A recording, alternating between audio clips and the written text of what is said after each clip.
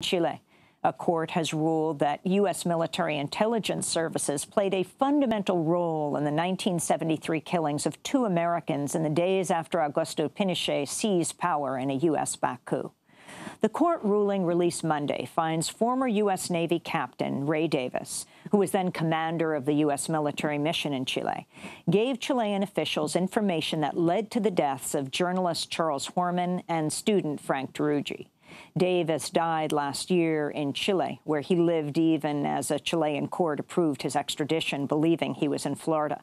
Charles Horman's widow, Joyce Horman, told the Associated Press she was delighted to see the case moving ahead, but outraged that, quote, through death and delay, a key indicted U.S. official, Captain Ray Davis, has escaped this prosecutorial process. To see our interview with Joyce Horman last year around the 40th anniversary of the killings and the coup, you can go to democracynow.org.